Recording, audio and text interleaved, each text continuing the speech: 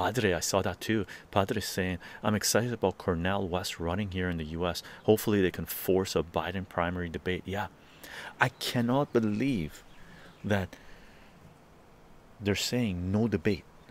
Like, this is for the fucking president of the United States of America, the person who's going to represent one of the the ruling class, ruling party in the United States, and they're saying no debate. You have no right to find out what this person uh, represents, or ask him any questions, right? Or get him to debate with any potential contenders, right? This is democracy.